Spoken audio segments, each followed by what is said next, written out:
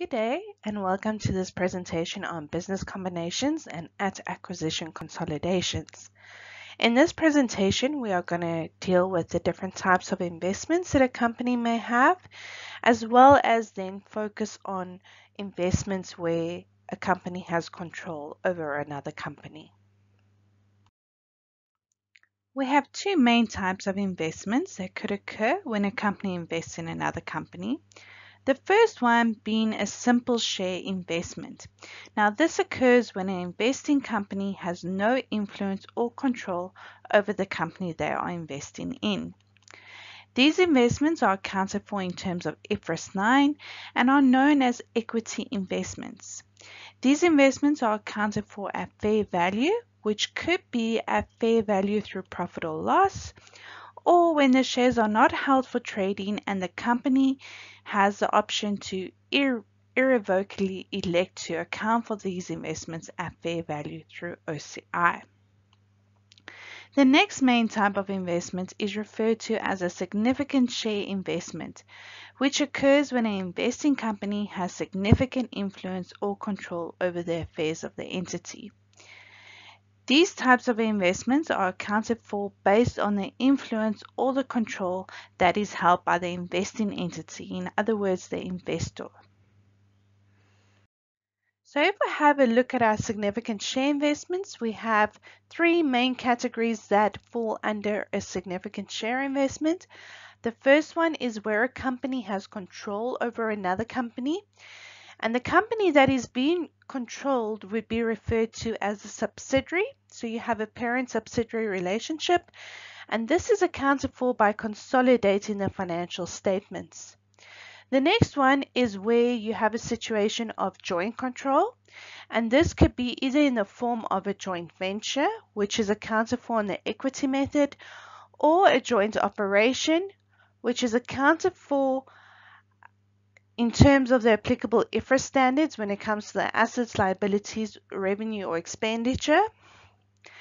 And then the last one is significant influence. So this is where a company has significant influence over another company and the company would be referred to as an associate and it would also be accounted for on the equity method.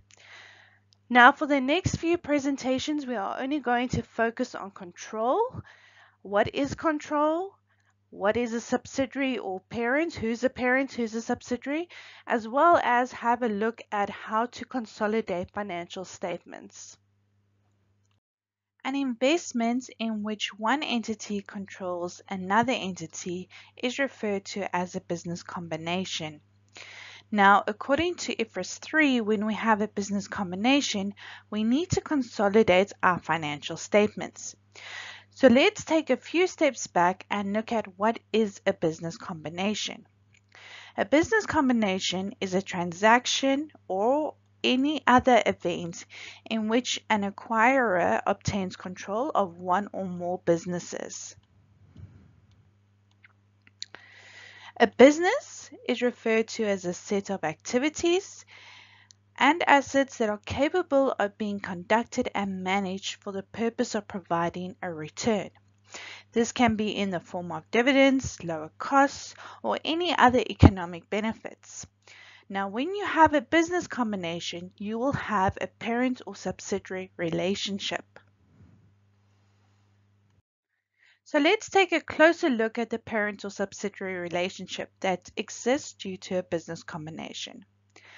Let's assume we have an entity who we will refer to as P Limited. P Limited has purchased the majority of shares in S Limited and as a result has gained control over S Limited.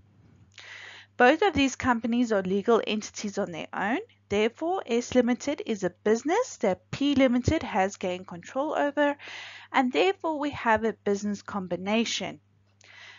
P Limited is referred to as the parent or the investor or even the acquirer and this is the company who has control over the other company. S Limited will be the subsidiary or the investee or the acquiree being the company who is controlled by the parent. These two companies are referred to as a group as they are related to one another. Remember, P Limited controls S Limited. And when we refer to both companies as a group, we refer to them as the P Limited group. Therefore, the P Limited group means that it is P Limited and S Limited combined. So let's take a closer look at control. An investor controls the investee when the following three requirements have been met. The investor has power over the investee. Now this occurs when the investor has existing rights that give it the current ability to direct the relevant activities of the investee. For example, the investor has the ability to direct activities that significantly affect the investee's returns. The second one is the exposure or right to variable returns from its involvement with the investee. Therefore, the investor's returns from the involvement with the investee could vary due to the investee's performance. And the last one is the investor has the ability to use its power to affect the amount of returns it is exposed to. So therefore, the investor not only has the power and the right to variable returns, but also has the ability to use its power to affect the returns from its involvements with the investee. So now that we've dealt with control, let's have a look at an example to see if we're able to determine whether a company has control over another company or not. P Limited owns 60% of the shares in S Limited. P Limited has one vote at the annual general meeting, the AGM, for every share held in S Limited.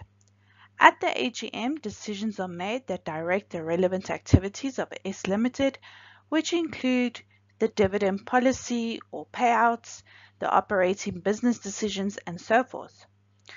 P Limited has rights to variable returns in the form of dividends, as well as the value of the investment in shares of S Limited. So does P Limited have control over S Limited? Now let's look at the three requirements for an investor to have control. The first one is, does the investor have power over the investee? We know that P Limited owns 60% of the shares in S Limited and therefore has majority voting rights at the AGM where the decisions are made that direct the relevant activities of S Limited.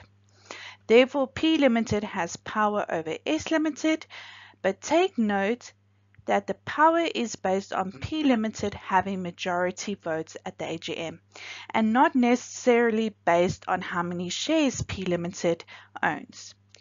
For example, if P Limited only owned 40% of the shares but held a majority voting right at the directors meeting, maybe due to the number of directors they were allowed to appoint or remove, P Limited would have power as the entity would still have a majority voting right.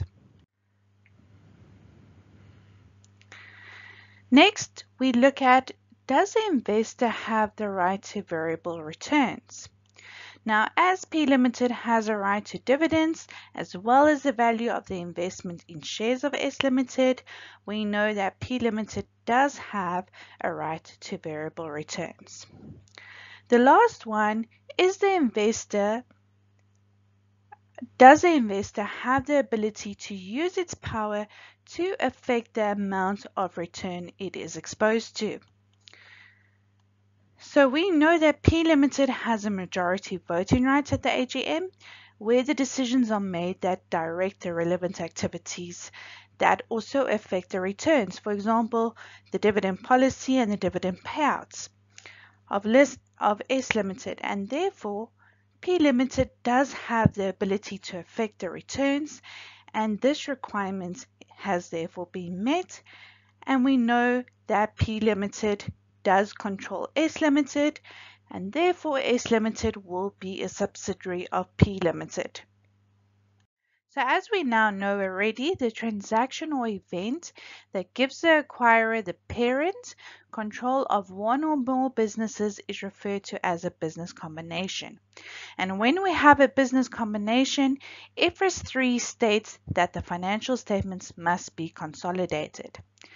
If we refer back to our example of P and S Limited, P Limited and S Limited are both legal entities. So each entity will prepare its own set of separate financial statements.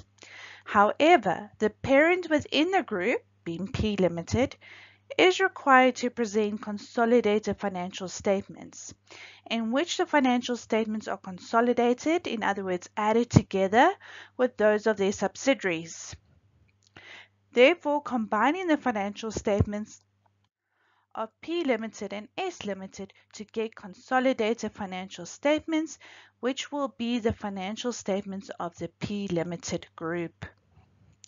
Now, there are exceptions to when a company or the parent needs to consolidate, and the exceptions include when the parent is a subsidiary of another company or entity, the parent's debt or equity is not traded in the public market, the parent did not file nor is in the process of filing financial statements with the Securities Commission, and the ultimate or intermediate parent of the parent produces consolidated financial statements.